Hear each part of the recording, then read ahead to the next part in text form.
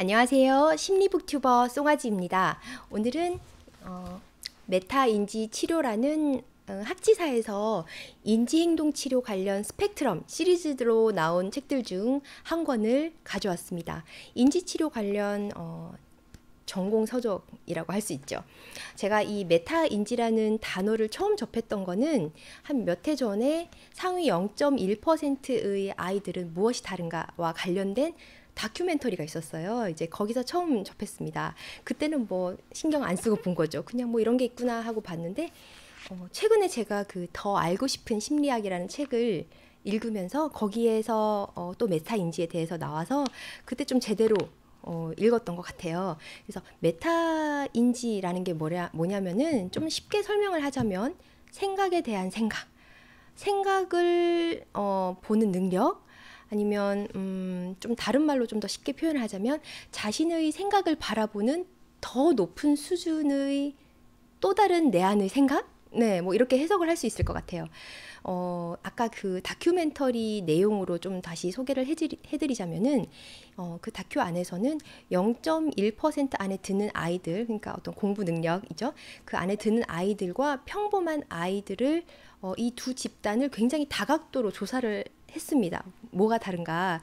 근데 뭐 환경, 경제, 뭐 여러 가지 부분들에서 큰 차이점이 없는 거예요. 심지어 IQ조차도 큰 차이점이 없는 거예요. 그래서 굉장히 궁금해진 거죠. 그렇다면 뭐가 이 0.1%의 아이들을 만들어내는가 알고 봤더니 메타 인지 능력의 차이에 있었습니다.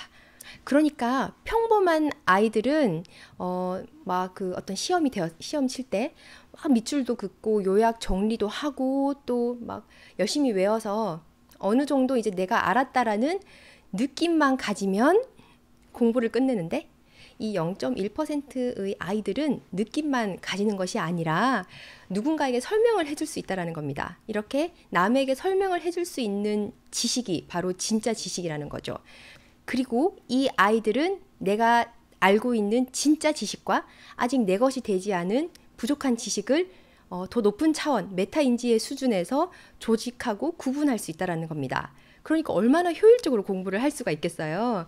이걸 가능하게 하는 것이 바로 메타 인지 능력들 중에 하나입니다. 그렇다면 오늘 음, 이 메타 인지 치료라는 책에서 다루는 내용은 무엇인가?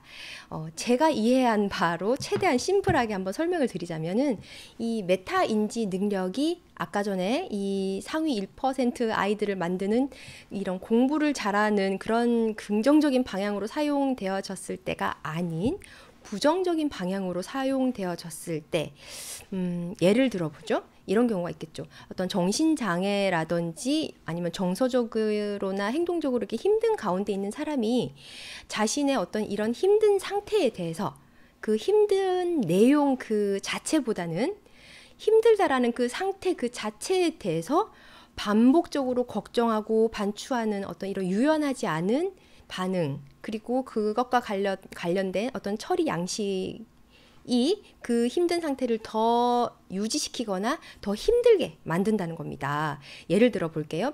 나는 실패자야 라고 생각을 하는 사람이 있고 그 생각 때문에 어, 우울해진다고 호소하는 사람이 있다고 한번 쳐봅시다. 이 전통적인 인지 행동 치료에서는 나는 실패자야 라는 생각의 내용 자체를 가지고 당신이 그 생각, 당신의 그 생각이 합리적인지 아니면 비합리적인지 한번 논박해 봅시다. 당신이 실패자라는 어떤 증거가, 객관적인 증거가 뭐가 있을까요? 라고 현실 검증을 하는 방식을 취한다든지 아니면 그런 나는 실패자야라는 그 생각이 어, 왜곡된 신념인지 뭐 확인해보는 그런 방식을 통해서 그 생각의 내용 자체를 수정을 하거나 그 신념의 내용을 변화를 시킨다면은 어, 우울 같은 정서나 아니면 그 우울로 인한 어떤 부정적인 행동이 감소되거나 어, 치료가 되지 않을까 라고 생각을 하는 거죠. 반면에 어, 메타 인지 치료에서는 나는 실패자야 라는 그 내용 자체보다는 나는 실패자다라고 생각하는 그 생각 자체에 대해서 걱정을 하거나 반추하는 식의 어떤 유연하지 않은 반응과 그런 처리 양식을 주, 더 중요하게 생각하고 어, 다룬다는 점이 차이가 있습니다. 그래서 메타인지 그 치료는 어, 이런 메타적인 위치에서 그러니까 한층 생각 그 위층에서 더 높은 수준에서 부정적인 어떤 그런 사고 과정을 멈추게 함으로써 어, 더 큰 치료적인 효과를 얻을 수 있다라고 이야기를 하고 있습니다. 그래서 이 책에서는 이러한 메타 인지 치료만의 독특한 이론을 소개하는 챕터 와 실제로 메타 인지 치료를 어떻게 사용을 하는지에 대한 큰 두 챕터로 이루어져 있어요. 아직은 메타 인지 치료가 우리나라에서는 인지 행동 치료의 어떤 한 방법으로서 주류에 속하지는 않아서 생소하거나 아니면 좀 새롭게 느끼시는 분들이 많을 것 같아요.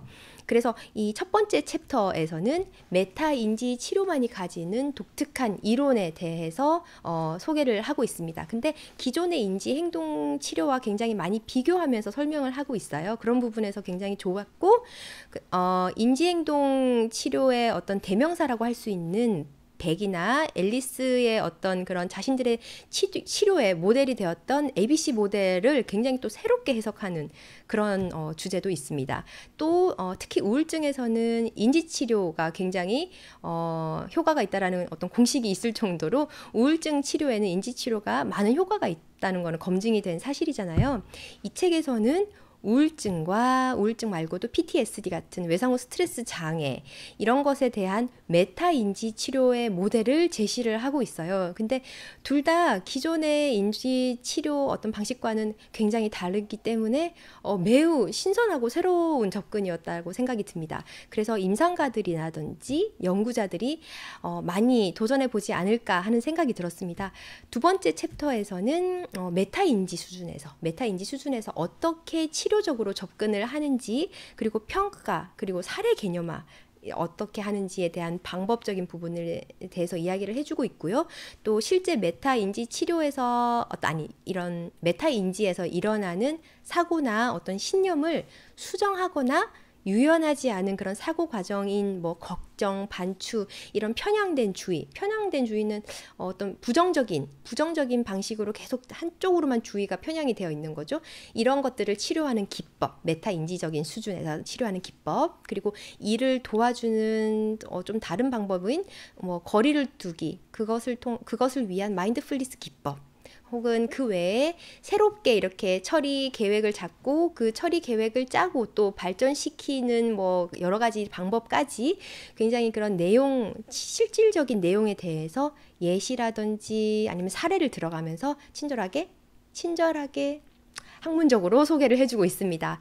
책이 두껍지는 않아요. 두껍지는 않는데 쉽게 읽히는 책은 아니에요. 그래서 어느 정도 인지 행동 치료에 대해서 어, 기본적인 이해가 있으면 훨씬 더 읽히기가 쉬울 것 같습니다.